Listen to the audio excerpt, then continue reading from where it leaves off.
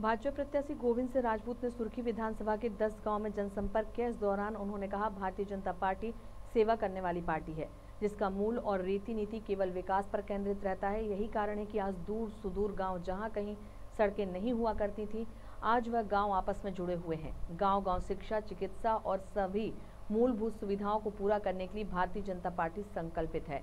मंगलवार को दशहरा पर्व पर सुर्खी विधानसभा से भाजपा प्रत्याशी गोविंद सिंह राजपूत ने देवी माँ की आराधना करते हुए अपना जनसंपर्क राहतगढ़ के ग्राम समरेडी से शुरू किया। इस दौरान उन्होंने घर घर जनसंपर्क करते हुए बुज़ुर्गों का आशीर्वाद लिया, वहीं बच्चों को दुलार किया।